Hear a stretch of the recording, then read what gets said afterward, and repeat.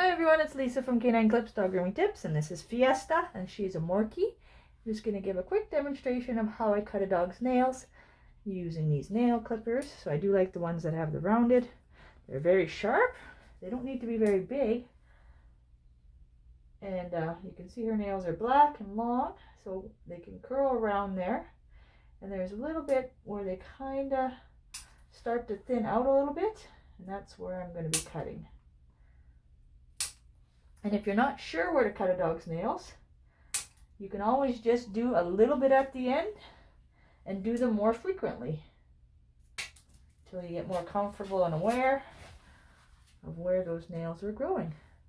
If you'd like to see how I groom all my dogs without any restraints and without any editing to the film, please check out and subscribe to my channel.